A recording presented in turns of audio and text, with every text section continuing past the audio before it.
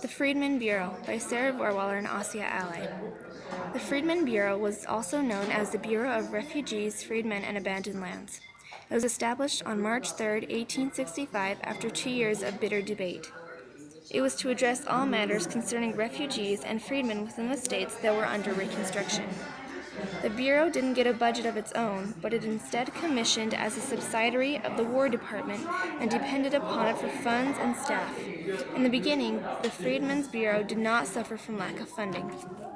The Bureau sold and rented lands in the South which had been confiscated during the war. However, President Johnson returned all lands to the pre Civil War owners in 1866. After that, freed slaves lost access to lands, and the Bureau lost its primary source of funding. Many historians believe that the Bureau had a very small impact, if any at all, on the freedmen. Lack of funds, weak organization of the Bureau's internal structure, and opposition from conservatives were some reasons for the Bureau's failure. The advocates of the Freedmen's Bureau had intentions to help the African American population prosper as freedmen.